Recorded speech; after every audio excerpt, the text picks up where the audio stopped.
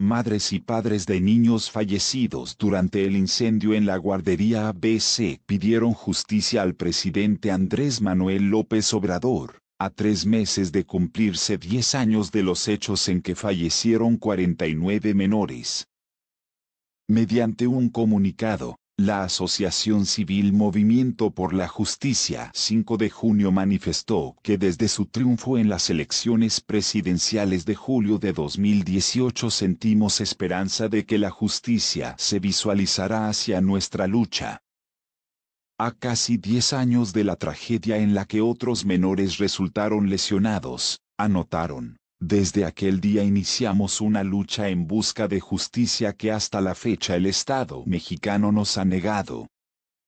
En el documento emitido este sábado en que el mandatario nacional visita Sonora, agregaron que han notado que el gobierno federal da muestras de solidaridad ante muchas causas.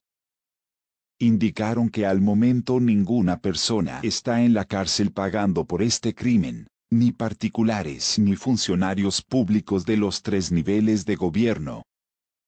Agregaron que su lucha continúa hasta lograr justicia, esperamos que nuestros esfuerzos vayan acompañados por los de su gobierno y así sentar precedente del cambio que tanto espera y merece nuestro pueblo.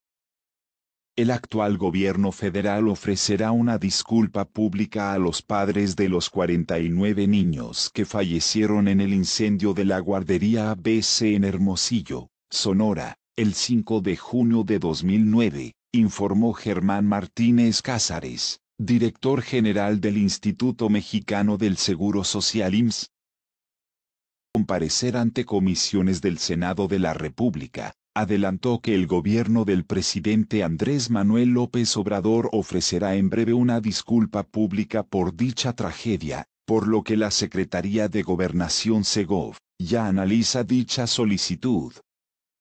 Aseveró que luego de esta tragedia, en el IMSS no se pondrá en riesgo a ninguno de los menores de edad que acuden a sus guarderías, y que ante el ajuste presupuestal a estancias infantiles, el Seguro Social evaluará en cuáles guarderías tiene cupo, pero sin poner en riesgo a los menores de edad.